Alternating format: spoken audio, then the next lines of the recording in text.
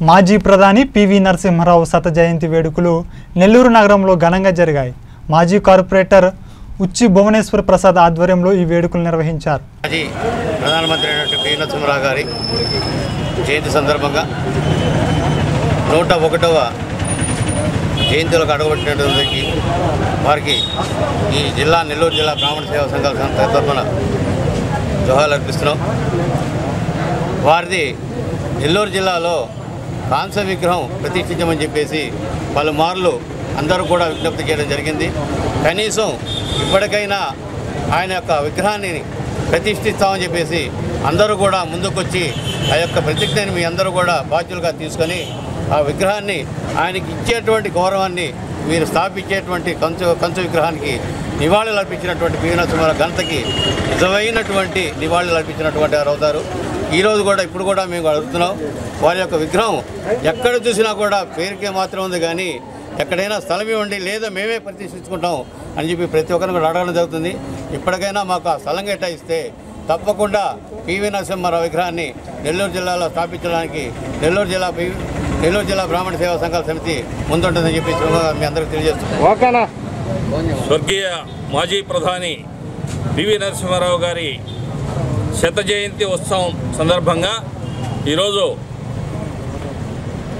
మిత్రులందరం కలిసి ఒక బాధ్యతగా తెలుగువాడు ప్రధానిగా ఉన్నటువంటి తెలుగువాడిని గౌరవించుకోవాలా సంస్మరించుకోవాల్సిన బాధ్యతగా ఈనాడు తెలుగుదేశం పార్టీ ఈ యొక్క సంస్మరణ కార్యక్రమాన్ని ఏర్పాటు చేసింది.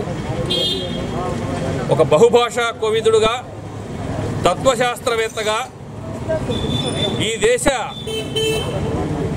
ఈ దేశానికి దశ దిశ మార్గదర్శనం చేసి తాను ప్రధానిగా పదవి స్వీకరించిన నాడు భారతదేశ గౌరవ ప్రతిష్టలు బంగారం రూపంలో విదేశాల్లో తాకట్టు పెట్టబడి జరిగితే ఆ యొక్క పరువు ప్రతిష్టల్ని తాను మొట్టమొదటగా ఆ యొక్క బంగారాన్ని విడుదల చేసి ఈ దేశంలో సంస్కరణలు తీసుకొని వచ్చి ఆ సంస్కరణల్ని ఇన్ని సంవత్సరాలు ఎన్ని ఒడిదుడుకులు వచ్చి ప్రపంచమంతా ఇబ్బందులు పట్టా కూడా భారతదేశం ఆర్థికంగా నిలదొక్కుకోగలిగినటువంటి స్థిర స్థిరమైనటువంటి ఆర్థిక వ్యవస్థను ఆనాడు ఆయన ఐదు సంవత్సరాల పాలనా కాలంలో స్థిరీకరించబట్టే ఈనాడు భారతదేశం ప్రపంచ దేశాల్లో ఆర్థికంగా నిలదొక్కుకోగలిగి ఉన్నదనడానికి ఆయనే ప్రధాన కారణం అని చెప్పి సందర్భంగా తెలియజేస్తున్నాం.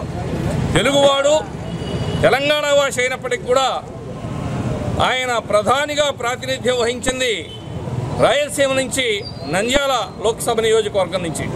ఆయన నంద్యాలలో పోటీ చేసినప్పుడు ఆనాటి ముఖ్యమంత్రి స్వర్గీయ నందమూరి తారక రామారావు గారు తెలుగువాడు పోటీ చేస్తే ఎవ్వరూ ఇహన మరో పో వ్యక్తి పోటీ ఉండకూడదు ఏకగ్రీవంగా పార్లమెంటుకు పంపించాలనేటువంటి ఉద్దేశంతో ఆనాడు నంద్యాలలో తెలుగుదేశం పార్టీ తరఫున పోటీ పెట్టకుండా చేసినటువంటి గొప్ప చరిత్ర తెలుగుదేశం పార్టీది.